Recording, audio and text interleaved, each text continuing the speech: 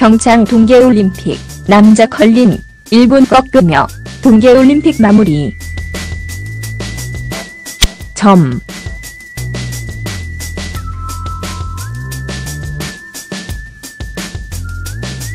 남자 컬링 대표팀이 일본 대표팀의 승리를 거두며 2018 평창 동계올림픽을 마무리했다.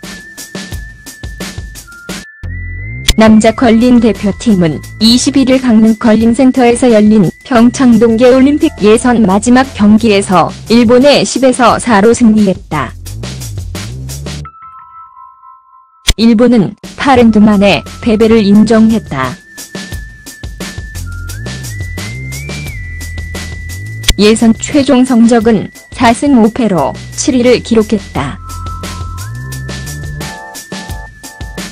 4팀만 올라가는 플레이오프에는 진출하지 못했다.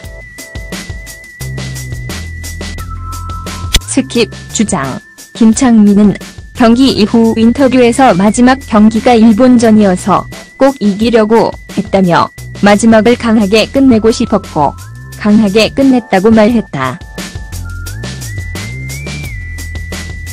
한편 대표 선수들은 이날 경기가 끝나고 관중석으로 유니폼을 던졌다.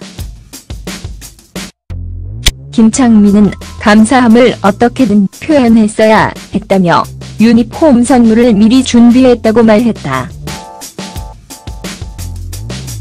임명석 코치는 앞으로 많은 분이 응원과 관심을 보내주셔서 한국 컬링의 여건이 좋아지기를 바란다며 우리는 컬링이 정말 좋은 스포츠이고 매력 있는 스포츠라는 것을 보이도록 최선을 다할 것이라고 다짐했다.